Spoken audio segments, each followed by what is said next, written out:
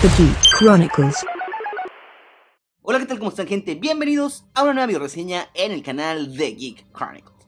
Y el día de hoy tenemos la figura de Piccolo Daimaku de la línea SH Figures de Dragon Ball. Y como siempre iniciamos reseñando la caja, tenemos un blister transparente donde apreciamos la figura y leemos Piccolo Daimao.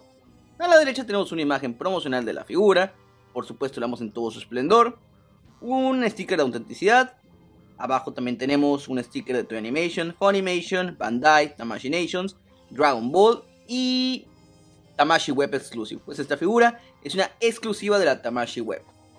De este lado pues tenemos imágenes que se complementan con la del frente y de este otro tenemos el blister transparente.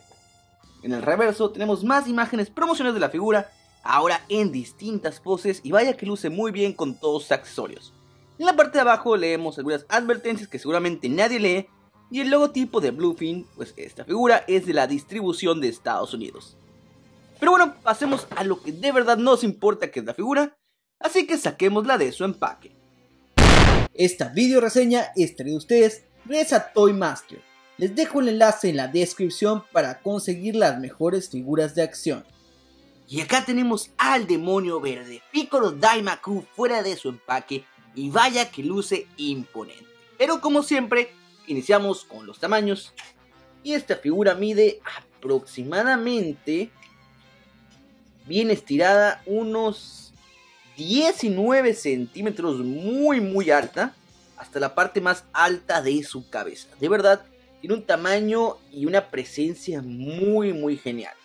Pero bueno, es hora de compararla con más figuras de Dragon Ball y por supuesto más figuras de la escala de 6 pulgadas. Empezamos las comparaciones con otras de Dragon Ball, Goku y el maestro Roshi. Ahora lo comparamos con Goku y su hijo Piccolo. Y para terminar con las comparaciones de Dragon Ball, lo tenemos junto al gigantón de SH Figures, Broly y de Dragon Stars, Freezer. Y ahora lo comparamos con otras de SH Figures, Hulk de Avengers Age of Ultron y Naruto. Comparándolo ahora con unos de Marvel, lo tenemos a la izquierda con Wolverine de Matrix y a la derecha Iron Man de Mezco 112. Ahora lo comparamos con unas de Hasbro, a la izquierda el White Ranger de Lightning Collection y a la derecha Nightcrawler de Marvel Legends. Y ya para terminar las comparaciones lo tenemos junto a otros verdes, de My Hero Academia, Midoriya de Q de Figma y a la derecha Leonardo de las Tortugas Ninja de SH Figures. Unos desastres naturales obligaron a Katatsu del planeta Namekusei a enviar a su hijo a otro planeta con una carta en la que prometía encontrarse pronto con él. Este llegó a la Tierra a una región conocida como la meseta de Yutsabit, donde esperó a su padre durante muchos años, y ahí mismo entrenó durante todo ese tiempo. Finalmente abandonó la región para conocer el mundo y llegó al Templo de Dios, imponiéndose la misión de convertirse en el siguiente dios de la Tierra. Eventualmente no lo lograría debido a que existía una gran parte de maldad en su corazón, por lo que el joven Namekiano creó una técnica con la cual expulsó esa parte malvada de su cuerpo, creando así al gran rey demonio Piccolo. Eventualmente bajaría a la tierra a sembrar el caos, autoproclamándose rey de los demonios. Los Namekianos se reproducen asexualmente mediante huevos, por lo que en poco tiempo Piccolo creó un ejército de demonios guerreros. Solo la intervención de Mutaito pudo salvar la Tierra usando la técnica Mafuba, y así sellando a Piccolo dentro de un recipiente del cual no pudiese salir. 300 años más tarde, Pilaf abriría dicho recipiente, y con ello liberaría una vez más en la Tierra al temible dios de los demonios. Pasamos ahora a los accesorios en la figura e iniciamos con rostros o cabezas intercambiables. Iniciamos con la que tiene en este momento la figura, cual muestra un rostro con una sonrisa muy malvada. También tenemos un rostro gritando, el cual sirve tanto para recibir como para dar unos buenos ataques. Tenemos un rostro gruñendo, el cual luce muy bien. Todos tienen un excelente trabajo de esculpido. Y por último, el favorito de muchos, el que podríamos utilizar como el rostro que está lanzando el huevo. Y bueno, los cuatro lucen muy bien. Por algo que me gusta muchísimo de estos rostros. Los que tuvimos al Piccolo original, sabemos perfectamente el riesgo que es romper esas antenas, pues prácticamente significaría que nuestra figura es obsoleta. Sin embargo, a Bandai se le ocurrió la brillantísima idea de hacer cada una de las 8 antenas, es decir, todos los rostros, removibles, y así no podemos correr el riesgo de que terminemos dándole la torre a nuestra figura.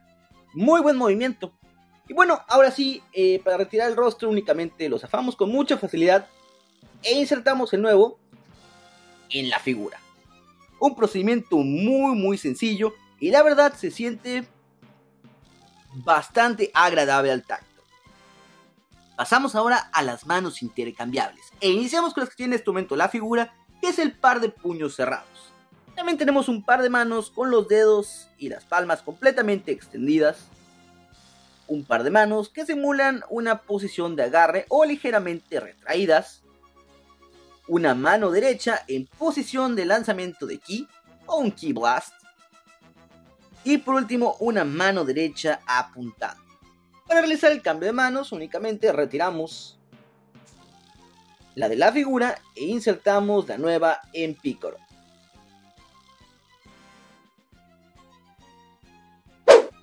En cuanto al resto de los accesorios, tenemos la esfera del dragón de una estrella. Difícilmente se alcanza a ver eso en pantalla. Tenemos la arrocera, que funciona como la vasija para, en la cual aplican el mafuba. Tenemos que estar articulada. Muy buen detalle. Tenemos el huevo que sale de su boca, con el cual crea o nace su hijo Piccolo Jr. Obviamente esto iría acá, no es que tenga un PEC, pero sí tiene un agujero para insertarle algún PEC de alguna base, sin embargo no incluye la base la figura. Y también tenemos un pequeño, mm, digámosle stand al huevo, para simular como si estuviera cayendo o se acabara de caer. Muy buen detalle, la verdad. Y la figura con los accesorios luce increíble. Realmente pareciera que acaba de vomitar ese huevo. Muy buenos accesorios con esta figura, la verdad esto nos hace ver el por qué el precio tan elevado de un personaje, que ya de por sí es grande y alto, y bueno, con tanto accesorio era obvio el incremento. Pasamos ahora a articulaciones e iniciamos por la cabeza, la cual rota en 360. Puede hacer atrás muy bien, adelante y a los lados, gracias a la doble articulación que tiene de bola tanto en la parte inferior del cuello como en la superior. Muy buen rango. El hombro pues derrota 360. Lo sube hasta acá, baja así. Puede hacer ligeramente arriba y abajo. Articulación de mariposa muy buena. El lo rota 360 en el bíceps. Dos puntos de articulación limitados por supuesto en el codo debido al esculpido que tienen los músculos Rota 360 la muñeca y puede hacer arriba y abajo y a los lados. El pecho le puede rotar ligeramente, hacer a los lados muy bien y adelante bastante bien, atrás también. Podríamos decir hasta cierto punto que las antenas se encuentran articuladas, pues debido a que, que se pueden remover, se pueden rotar a los lados. Lo que es la cintura, igual puede rotarle esta vez en 360, hacer adelante para complementar con la del pecho, atrás también muy bien, y bueno, a los lados. Patea al frente así. Muy bien. Atrás, excelente, la verdad, muy buen rango. Se abre en split, casi perfecto, muy, muy bien. Rota, muy padre en esa sección. En ambas piernas. Esto nos permite hacer o tener un muy buen rango de movimiento. Dos puntos de articulación en la rodilla muy buenos. El pie le rota en 360, puede hacer arriba, abajo, a los lados, articulación de pivote muy buena. Solo miren este rango, excelente. Y bueno, por último, articulación en los dedos. Excelente rango de movimiento con este Rey Piccolo. En cuanto a diseño, esculpido y pintura, este Piccolo Daimaku es honestamente una de las mejores SH figures de Dragon Ball jamás lanzadas. En cuanto al esculpido, tiene un trabajo soberbio pero antes empecemos con la pintura. Solo miren esas tonalidades. Pese a que tal vez carezca un poco de sombreado, pues digamos no es el mejor en la figura, las tonalidades están muy vivas de pies a cabeza. El detalle no solo en el cuerpo, sino en los accesorios, hacen ver que esta es una figura de verdad de calidad. Me gusta mucho cómo delinearon los ojos en cada uno de los rostros, el trabajo, como podemos ver en la boca abierta, es soberbio. Vean los dientes muy bien definidos. El logotipo de su playera, igual muy, muy genial. Todo en esta figura en cuanto a pintura es magnífico. El rosado hace un contraste muy bueno con el verde y el azul, por supuesto. Y bueno, en cuanto a esculpido, solo, solo admiren este detalle. Solo vean, vean de qué está hecha esta figura. No solo... No, es que este detalle es increíble. Vean el delineado que tiene en todas sus secciones, los rostros. Por supuesto, en cuanto a rostros, hay que aplaudir muchísimo a los que diseñaron este. solo miren, miren qué genial se ve la boca abierta, el detallado, o sea, solo miren esto, este detalle, no, no, no, está increíble. Por supuesto, sin demeritar a los demás, que igual lucen muy bien con las venas resaltadas, pero este, este se va a los aplausos, realmente es algo, algo magnífico. Su accesorio del huevo pues, es algo ligero, pero muy bueno, cumple con su cometido.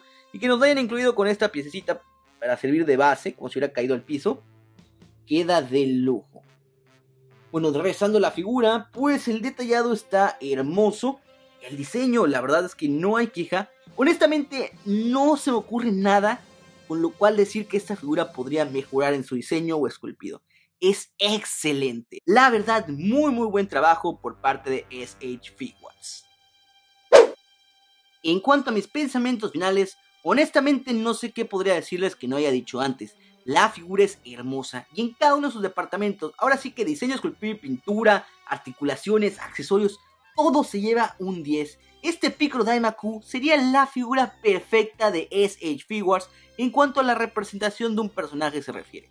Todo en él es bellísimo y hermoso y funciona perfectamente. De verdad, se lo recomiendo muchísimo a cualquier fanático de Dragon Ball. Sobre todo aquellos nostálgicos que quieren tener en su colección las aventuras que vivimos cuando Goku y nosotros éramos unos niños.